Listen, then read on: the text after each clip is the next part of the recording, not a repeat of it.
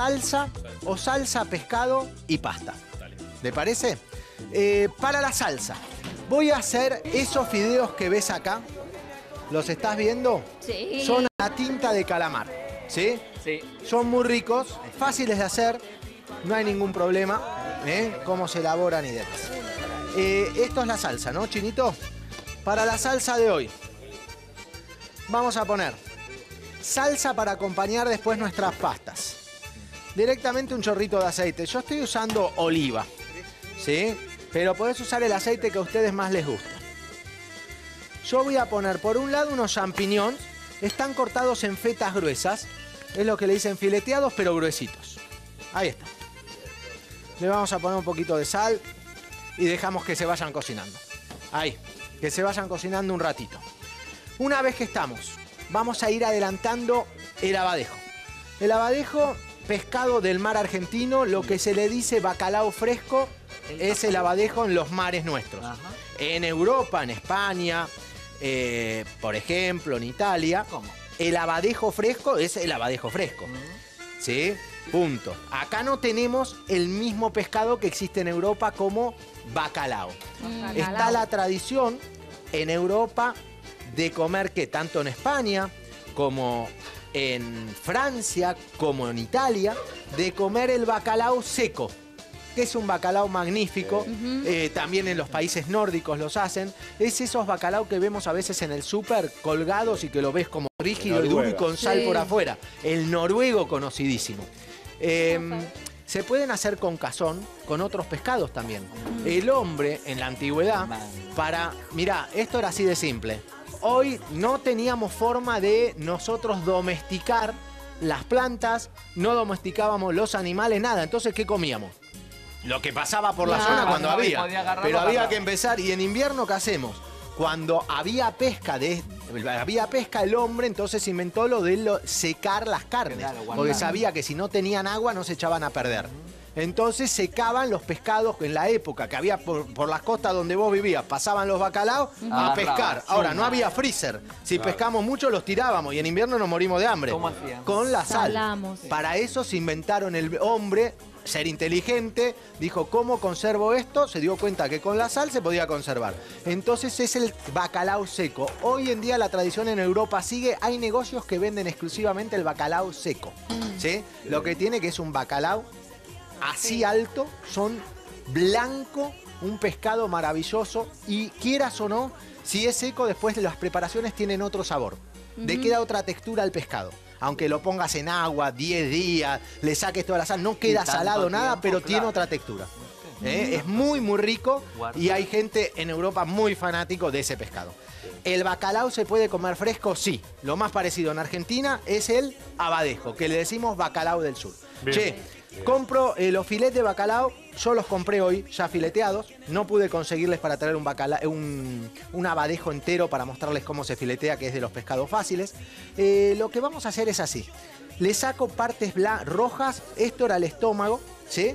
Y entonces voy a cortar ahí. ¿Ven como a- en diagonal? Ok. Así. Es una forma que queda bien después cuando lo consumamos. Entonces, cortamos el bacalao de esta manera.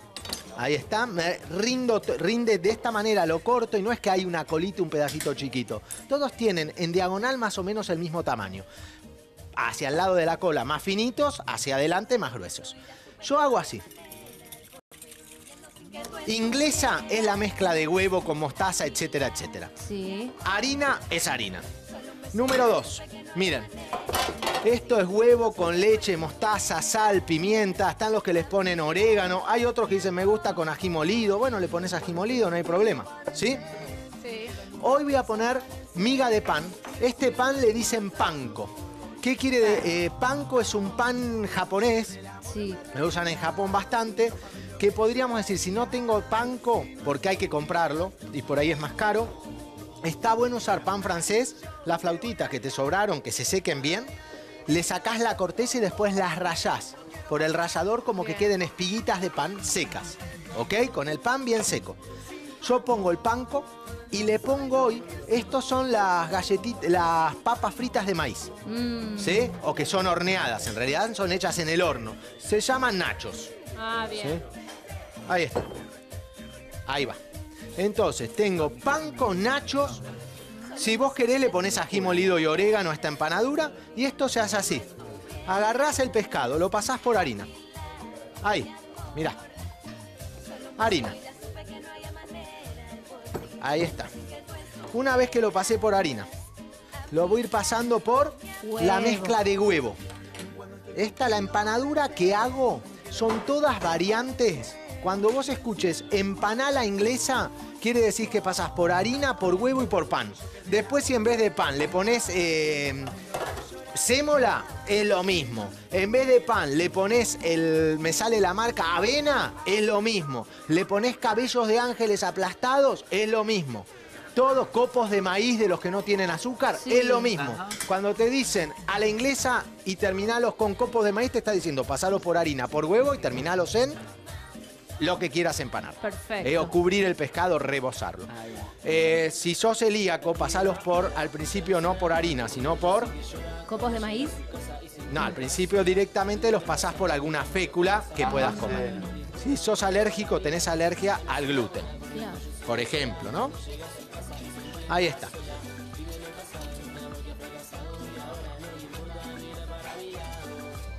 Ahí va. Bien crocantes. Mmm, rico. Mm. Estos quedan muy sabrosos. Te tiene que gustar, acordate, el sabor de esas papitas de los nachos. Si no te gusta el nacho, no lo hagas porque le queda el sabor. Ahí. Entonces, ¿sí? Sí. Los presiono un poquito. ¿Ves? Mmm, qué ricos van a quedar. Sí, sí. Uy, Sí. ¿Sí? Señor. Bueno, muy bien. Mmm. Esa es la primera parte. Sí, Muy bien. señor. Lo único que hay que hacer para cocinar pescado, ponele el fuego al aceite bien alto. Cuanto más alto mejor. 180 grados está buenísimo. Agarro 180 grados. Pescado, el pescado se cocina rápido. Es, si se dora está cocido. Ya te lo digo así. El calor penetra muy fácil por la fibra del pescado. No es como una carne que le cuesta, un pollo, que hay huesos a veces, etcétera, y que cuesta llegar. Eh,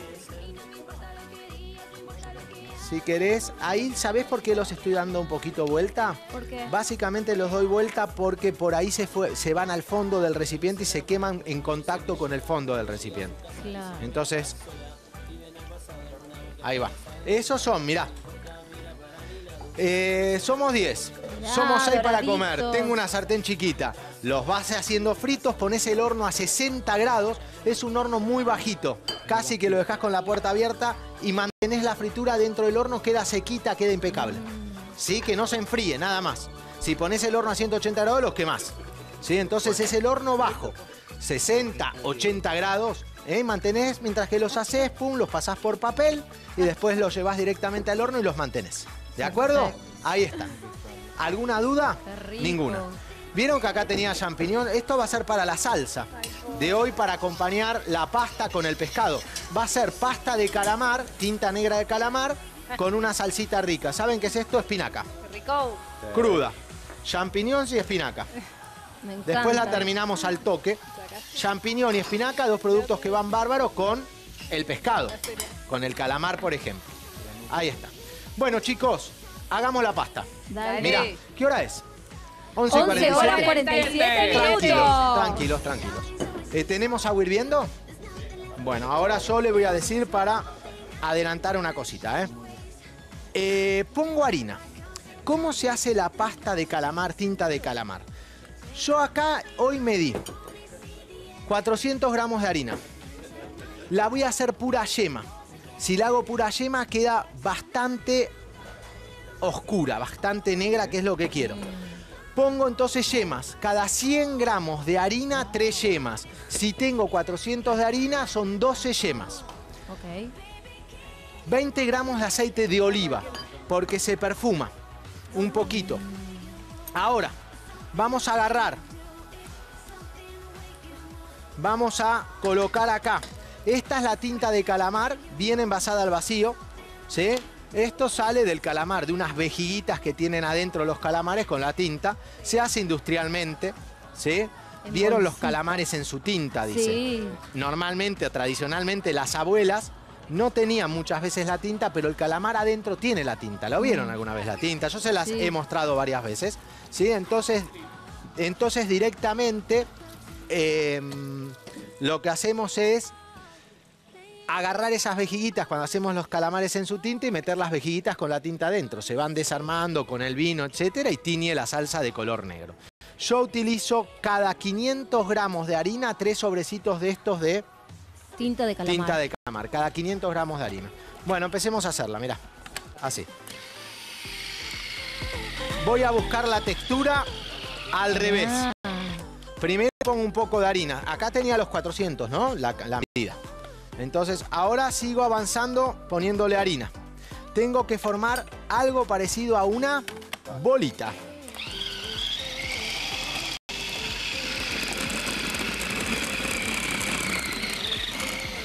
¡Qué negro! Miren cómo está quedando.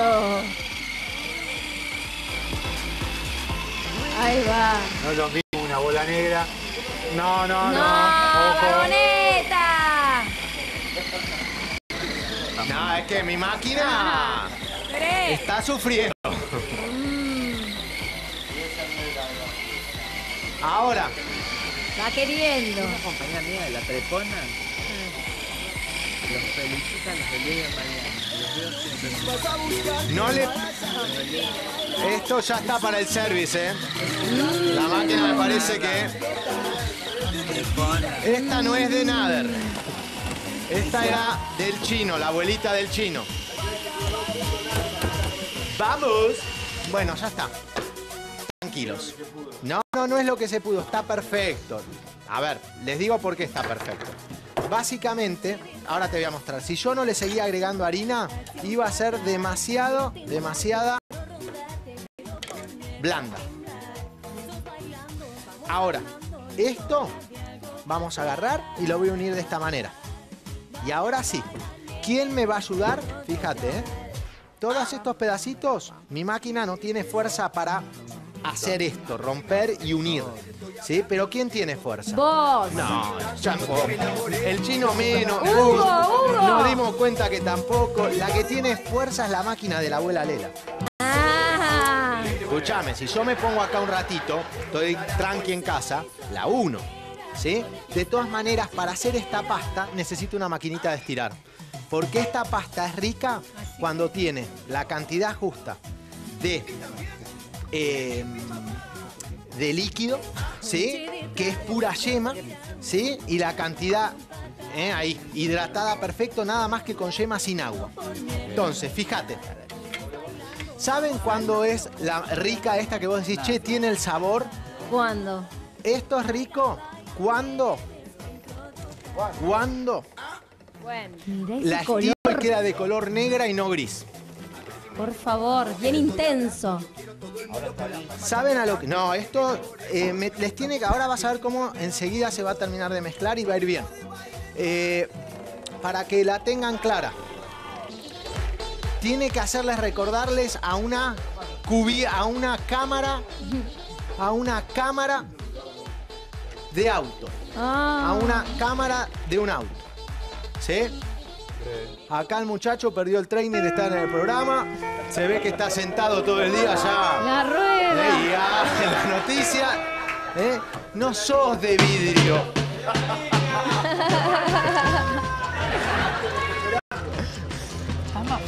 Está más flaco, está mucho más flaco. Hola Sergio, buen día. ¿Cómo anda? Está más flaco que. Ah, los calamares. Ah, por eso estaba tan seco. Claro. Es un. Claro. Pero sabes que no lo Laburar nunca, ¿no? Ese es pecado. Veo, Para veo. eso bueno. están los chicos. Chicos, Chinito, water, hot water, please. Give me, give me, give me. Miren, esta es la pasta que hice hoy temprano. La Mirá colgué para que se ore un poquito. La vamos Por a colocar favor. acá. Fíjate. ¿Eh? Pastoreada. La vamos colocando acá. Vamos mezclar, cuando cae la mezclamos, agua hirviendo, si querés un chorrito de sal, que se cocine. Como se secó, tarda unos minutos, tres minutos aproximadamente. ¿Ok? Perfecto. Vamos. Ahí va. Señores, vamos a avanzar. Mm, esa cortina Ahora de fideos. esta parte empieza a ser lo mismo que siempre. Voy cerrando la máquina, no es que tengo las manos engrasadas, sino que es la tinta de calamar, que mancha un poquito. Vamos cerrando ahí. Ahí.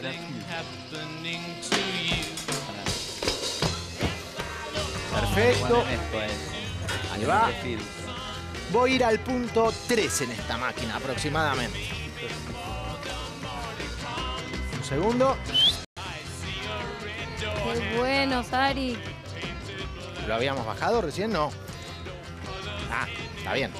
4 y ¿Y? y 3. ¿Uno más? Ahí está. 3. Perfecto. Acá se termina. 3. Mire, mire, mire, mire, mire, mire. Mirá. Ay, por Buenísimo. Perfecto. Miren. Gracias. Fíjense, esta es la masa.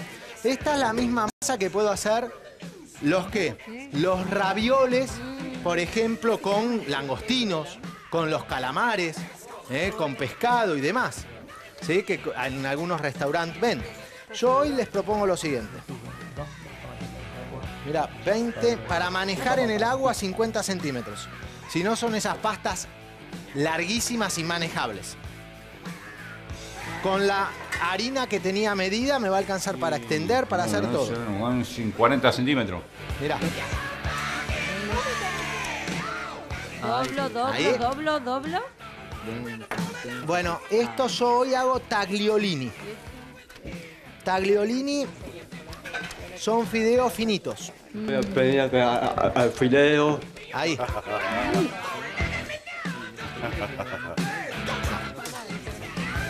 Ahí. Ahí va. Más finitos que los tagliatelli. Ahí está. Muy bien.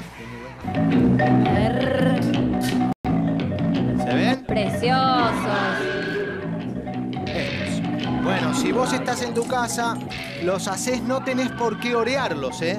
Estos así como están se pueden cocinar. El tema es que muchas veces los haces antes. Si te gusta guardarlos, los congelás así. Haces así, ahí los pones en una tablita, en una asadera. Cuando se congelan, los guardás en una. ¿Qué? En una bolsita plástica para que no se deshidraten. Estos mismos, ¿sí? Los puedo entonces orear o cocinar. Estos son los tagliolini, son finitos. El espesor. Preciosos. ¿Ok? Ahí está. Che, no me van a poner. ¿Qué es la música de Dactari? ¿Me están jodiendo? Ahí ¿Eh? está, la camisa negra de ¿Qué Juanes. hago? La no tablita agua. especial. Ahí está, muy bien, muy bien, muy bien. Perfecto. Ahí. Che, la salsa.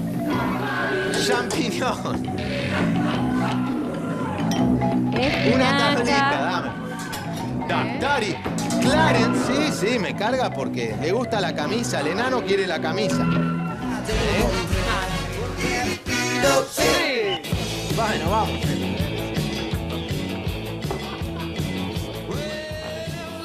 Morroncitos. Ahí. Mirá esta salsita. Champiñón, morrón y espinaca. La ensalada cruda.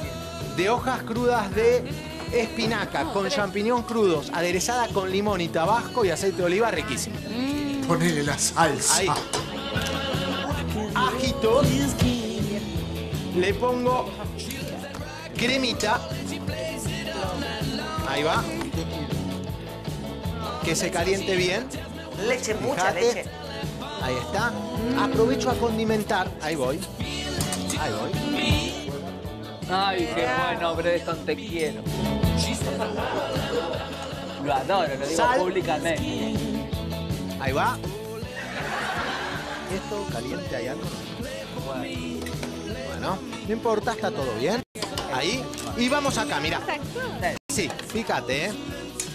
A ver. La pasta. Lista. La sacamos. Bravo. La escurrimos. Para bailar la Ahí va. Vamos sacando el otro. Dale, vamos. Fíjense. Esto los los sarteneás con un poquito de aceite de olivo, unos champiñones y quedan riquísimos. ¿Sí? ¿Ves cómo quedaron? Espectaculares. Negros. Los otros. Rinaldi.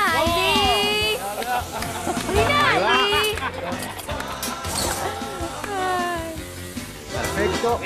Para de comer, gordo. Ahí va. ¿Te vas a ver? No, no te vas. Vamos a poner así, mira, un poquito de cibulet. Si te gustan sí. las alcaparritas, hoy Dale. tenemos, hoy las utilizamos, alcaparras. Y empiezo a ponerle la salsa. El champiñón, espinaca, el morroncito, pasta negra de calamare. Mirá lo que es eso. Por favor. Mirá los colores.